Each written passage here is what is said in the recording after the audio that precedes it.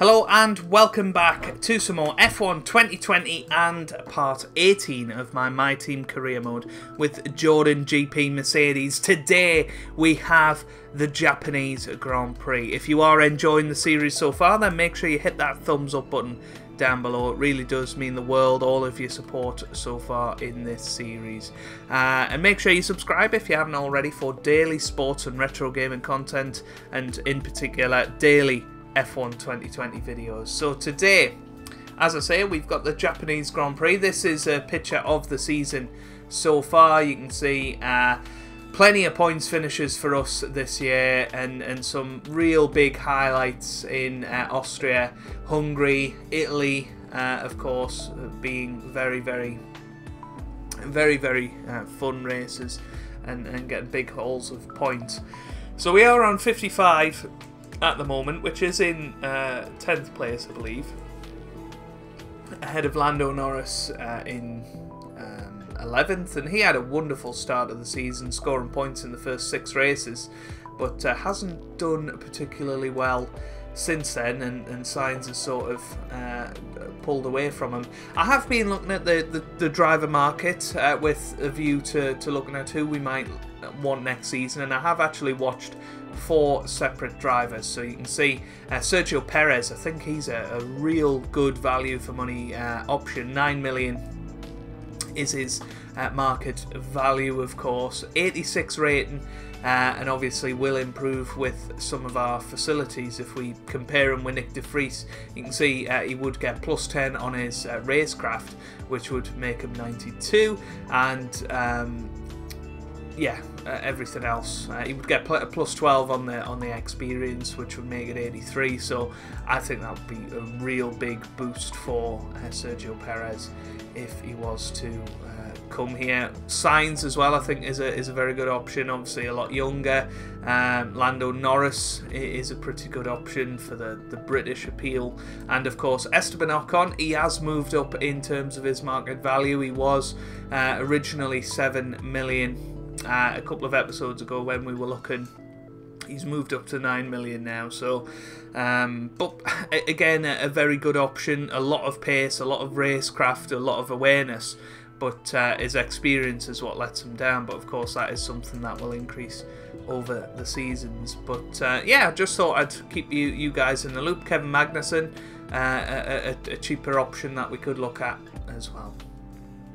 Uh, so the, the upgrades, you'll be happy to know, uh, were very successful and we've got them on the car. So we've got the new um, ECU, which takes our engine up to pretty much Mercedes level, which is absolutely amazing. Uh, we also have bought the uh, ter tertiary uh, wing flaps, which has took our aerodynamics department to around about equal with uh, Racing Point and Renault um, and, and, not too far behind being the fourth best um, aerodynamic package. And our chassis, we have, uh, of course, um, got the monocoque structure, which has really took us away from Williams now, and, and we are catching up in terms of our, our chassis. And that's somewhere where I want to focus for the rest of the season. I do want to find out where the um, the, the the reset is going to be. Um, I am going to go to the race weekend because some... Oh, replace the gearbox, of course. We shall do that.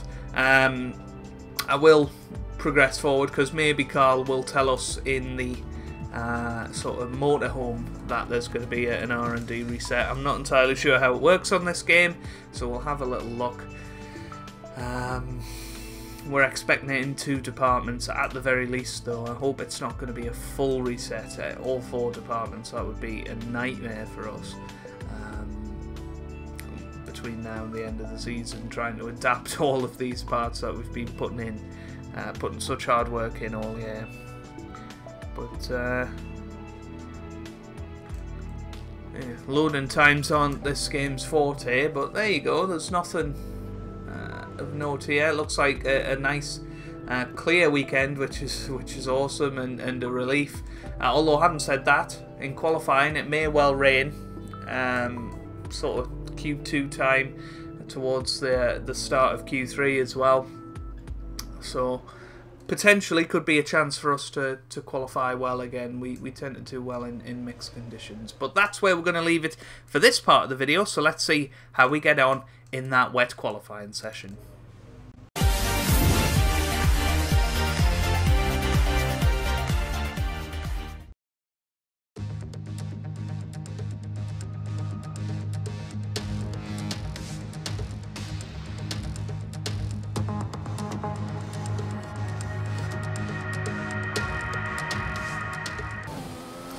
Well, here we come up to the line then. It's been quite a poor lap, and it's a 130.8, which I think would be comfortably uh, slowest in the session, uh, to be honest with you. Really, really not impressed with that lap time at all.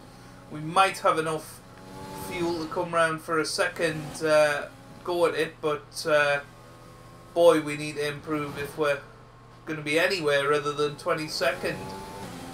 Well, here we come up to the line. A much better lap time this time. A 128.5, which puts us just above uh, Nyck de Vries uh, in 15th position. I can't really believe we've managed to pull that time out, but uh, I don't think there's much more in this car um, than that lap time that we've just produced.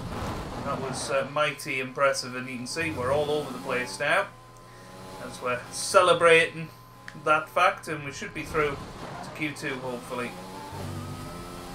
Well, as you can see, Nyck de Vries actually went a little bit quicker, and uh, we are out in Q1 then. Uh, 17th and 18th, the Jordans qualify in the end, which is a bit of a shame, really. I thought uh, I, I, thought we'd done enough, but uh, clearly not.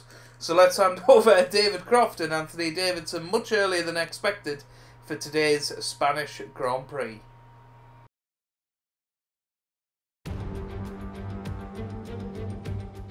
We come to you live today from the Mie Prefecture in the south of Japan's Honshu Island for a race that has seen many title deciders over the years.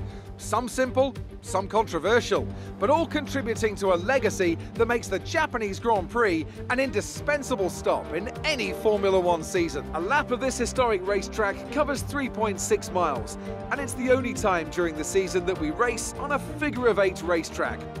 The drivers can expect some intense G-forces through the 18 corners on offer here as they experience some of the highest average apex speeds on the Formula One calendar.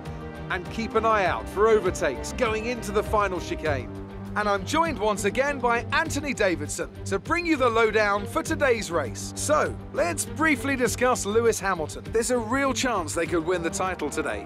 So how do you think they'll handle the pressure? I think as long as they keep their mind on the task and not its historical significance, they'll be just fine. This is a race just like any other. You do the best you can and accept that sometimes things are going to happen outside of your control. If they can approach today with that attitude, the pressure shouldn't be a problem. Before we begin, let's take a quick look at the grid lineup for today's race. Lewis Hamilton lines up on pole position, and Valtteri Bottas will line up alongside. As we continue through the rest of the grid today, we have Vettel, Leclerc, Max Verstappen and Albon, Ricciardo, Perez, Sainz and Lance Stroll, Ocon, Raikkonen, Lando Norris and Giovinazzi, Kvyat, Gasly, Nyck de Vries and the captain, Grosjean, Magnussen, Russell and Nicholas Latifi. It's almost time for the lights to go out, so let's head down to the track and get this Grand Prix underway. So here we are, down on the track then, ready for uh, the Japanese Grand Prix. It's going to be, it's going to be tough. Um, you know, I'm under no illusions about that. I think the best we can hope for is, is trying to beat Nick de Nyck de Vries, and I, am not even sure we can do that today. Um, I, I think the car, although it's had huge upgrades in performance, this is still a track that we're going to struggle with, and uh, yeah, I think that was reflected in our qualifying session. So starting on the soft tyres, I might as well put a bit more fuel in just to try and get through the field, but need much better performance today if we're to do any better than uh, maintaining our grid slot.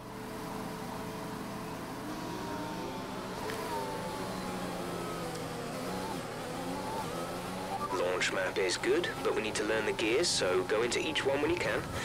We're going to need some work on the brakes, so put some energy into them and warm the tires as well, please.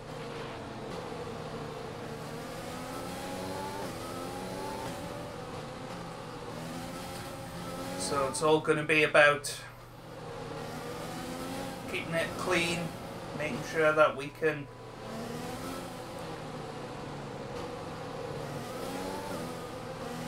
take any opportunities that arrive at our doorstep. But I think that the thing that we're, was we're really struggling with this weekend is consistency and actually driving the racetrack No threat of rain with the the same line every every lap. It's it's very very challenging. We've hit De Vries on the uh, formation lap, so both of us will be disqualified from it. So there you go. I guess uh, we might as well skip the formation lap. So here we go, ready for the lights. Lights out, away we go, and what a start for Nyck De Vries off the line. A little bit worse of a start for Pierre Gasly, and De Vries once again shown his true mettle at the start of the race, showing his awareness. Uh, start is well warranted. Trying to go around the outside, and we hold it on the inside on Kvyat there. So back up into 18th position. Just go try and hold it here.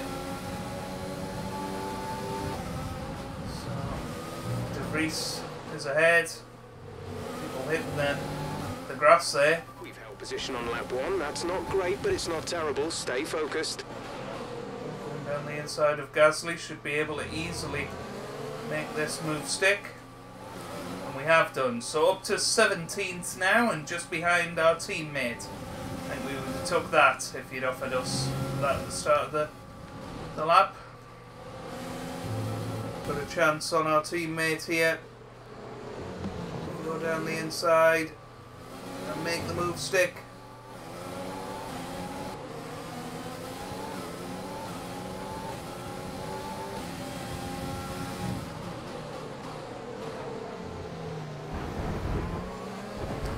Bit of a forceful move past Giovinazzi, but I think that's exactly what we have to do today if we are going to succeed. Great maneuver. You made it look easy. Well, as you can see, guys, uh, Gasly has got back past us, and De Vries is right behind now. And I think I might just let him go. I'm trying to let him through. He goes. Your teammate should not be passing you that easily. But that's exactly what's been happening to us in the last couple of laps. We just seem to have completely lost our pace, and I think it's down to tyre temperatures. We just can't keep them under control, which is such a shame. And even with the DRS struggling to close in on Nyck, and uh, a long day at the office for us today.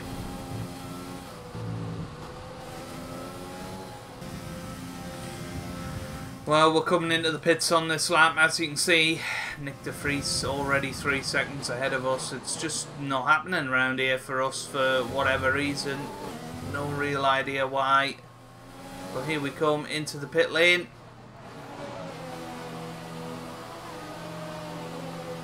Five second penalty as well.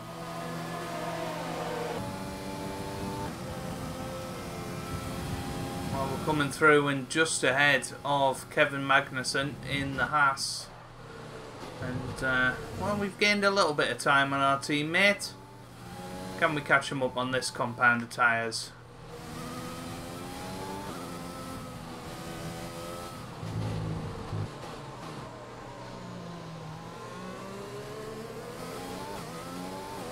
Well, would you believe it? Valtteri Bottas is out once again of the Grand Prix. That is just so unfortunate. He has had so many retirements this season.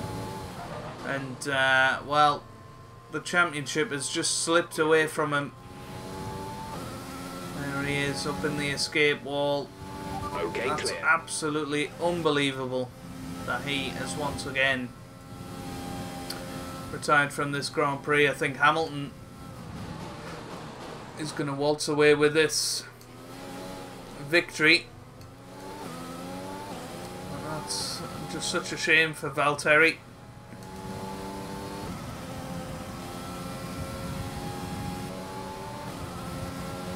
This is your final lap. Final lap of the race. Well, final lap of the race, and first of all, K Mag having a look down the inside, but uh, well, we blocked him off there. we blocked him off there a little bit aggressively, and uh, well, maybe a little bit naughty, but uh, I'm past Karen today, and, and once again, it, the Japanese Grand Prix just seems to do horrible things to me. Gap to Uh, it did last year as well. 6.3 seconds. uh, in the Haas car. And uh, yeah, just really don't know why uh, the car seems so slow around here. Lap fuel now. The tank is empty. So Lewis Hamilton does come home and waltz away with the Japanese Grand Prix. Doesn't get the fastest lap point though. Charles Leclerc currently has that, and unless somebody else in the top 10 now takes that, Charles Leclerc will be getting the extra point today. There goes Gio. We are going to try and chuck it down the inside. Because why not? Well, that's why. Well, poor day at the office today. Whoa! Well, there's Latifi. Is Latifi gonna beat us? I don't think he is.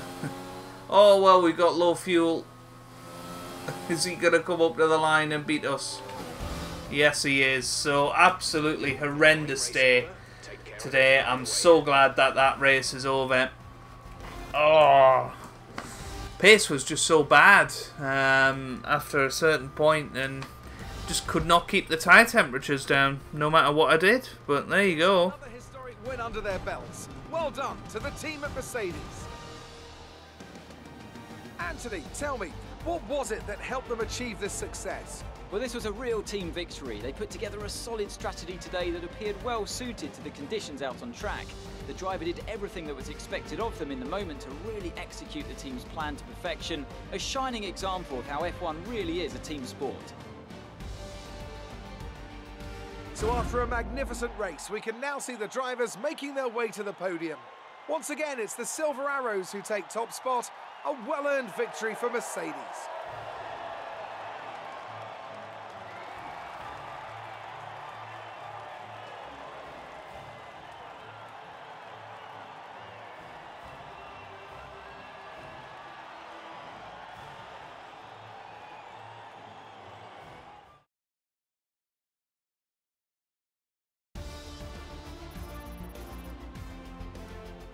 And after this round of the World Championship, here's how things look in the drivers' table. It's a great result for Lewis Hamilton, who moves further ahead at the top of the table. Now, let's discuss, Ant. Who would you say is a contender for driver of the day? Difficult call, but I'd like to say Esteban Ocon.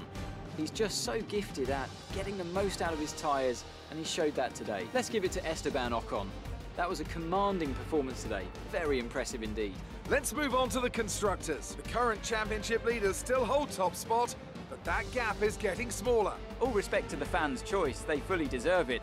But I just feel that my pick had a little more on their plate, so their ability to keep a cool head and come through for such a strong finish made the difference, at least in my opinion. Well, Ants, an end to another fantastic weekend of racing. Thanks to everyone who joined us, and we'll see you for the next one. Well, there you go then. Uh, Lewis Hamilton closed in on that uh, seventh world title, which would be absolutely amazing to equal the record from Michael Schumacher, of course. It was a, a bad day at the office for us, but, uh, well, Claire's What happened with your fuel strategy today? uh, can't be bothered answering her questions. Silly questions. you today, doesn't it? There you go. His car, mm, no. Don't want to criticise the team. Sounds like there's some work to do back at the factory. Sounds like you've got some work on your questions, Claire. Eesh. But anyway, um, yeah, we'll continue on and see if there is any sort of R and D um, boost, uh, reset. Sorry, 694k in the bank, and we'll head back towards our team headquarters. Four rounds to go, of course. USA, Mexico, Brazil, and Abu Dhabi. I'm not envisaging that we're going to be massively strong at any of those four Grand Prix. Really, maybe maybe in Austin and maybe in Mexico as well, but we'll just have to see. But uh, doesn't seem to be happening. Um, do I want to update the sponsors? Uh, maybe not. Maybe not at this point. Um, I can sort all that between episodes, but uh, yeah, um, a disappointing day today, and I, I'm I shouldn't get down about it. We've had a fantastic season, but I expected more after our upgrades, and uh, you know we're, we should be right up there with with McLaren, Alpha, and Renault, and, and we just weren't this weekend. But uh, hopefully things will improve next time out in uh, Texas. So if you guys have enjoyed that, then make sure you hit that thumbs up button down below.